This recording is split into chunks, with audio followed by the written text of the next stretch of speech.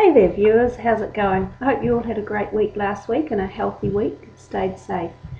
These are the angel cards for this week, which is October the 28th, taking us into November the 4th, which takes us into a new month, but still the last month in theory. Some people believe it's the changeover of the 21st of December when we move into the summer solstice here in the southern hemisphere, but for now we remain in spring in the southern hemisphere, and you guys in the northern hemisphere remain in autumn. And those two seasons have beautiful gifts that they offer up themselves. Spring's quite a wild, turbulent time when we find our passions going out, you know, after the calm and quiet of winter and hibernation, we're coming out again with quite wild energies. And we notice that even in the weather, you can get a beautiful spring, calm, sunny day and then the next day you'll get a polar blast of wind and sleet and hail and you'll think gosh we're we back in winter. So it's, it's a season of constant change with lots of strong energy patterns that are delivered through it. And you can see that too in the whole birth of life that comes in with spring.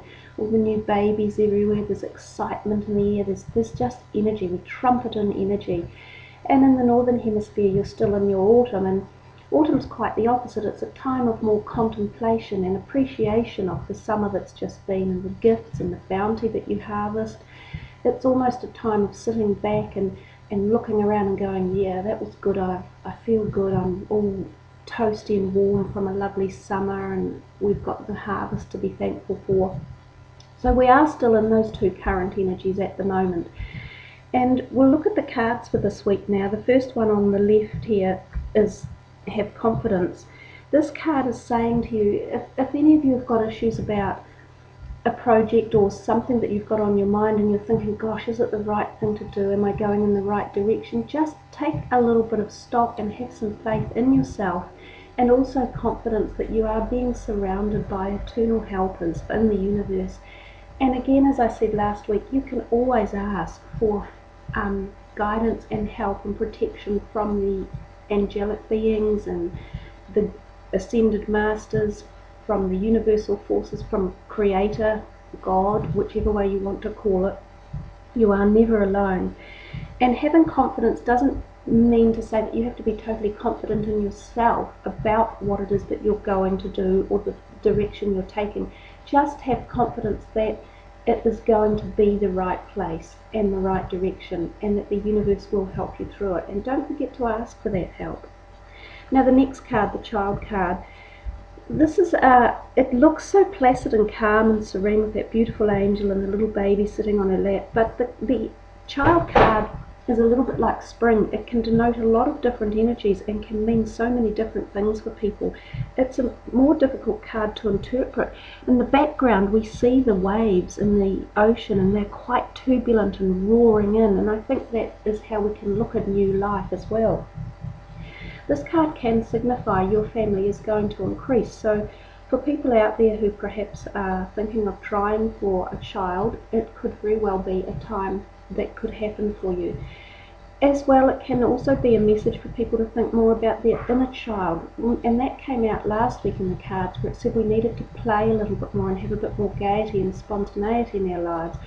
Well, the child card is a similar message. It says be back again as a child does. There's just that special time in your life when you're a child and you have that wonderful innocence and happiness and you see life through different eyes. You're not worried the same. You, don't have the same fears. You, life is quite wonderful and you can laugh spontaneously and just enjoy. People don't have prejudices or, or hates. And sometimes that card is purely a message about that. Come back again and just rethink the, the simplisticness of life and enjoy it from that perspective there is another message in there. It's also for people who just enjoy spending time around children. It's saying you do feel great love and compassion and you're happy when you're around children, and that's a very important part of your being.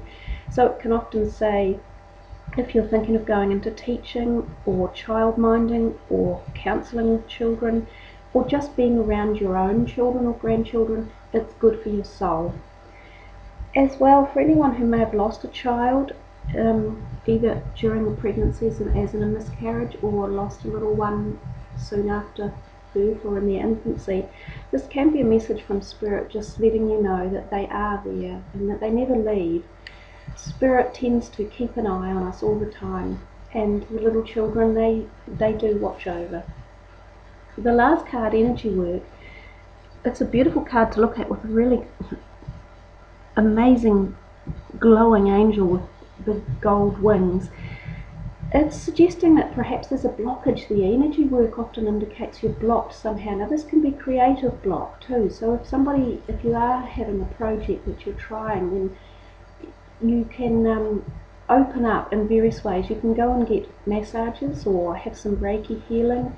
You might need some physiotherapy to unblock physical portions in your body. If you've got a stiff neck or a sore back, that might need treatment and looking into.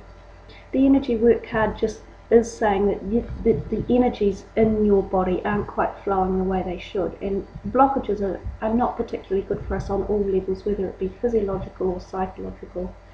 So that's the reading for this week, everyone. I hope you've enjoyed that, and thank you for tuning in. I hope you all have a wonderful week, taking us up into November, and enjoy your Halloween celebrations. And take care, stay safe, everyone. Many blessings.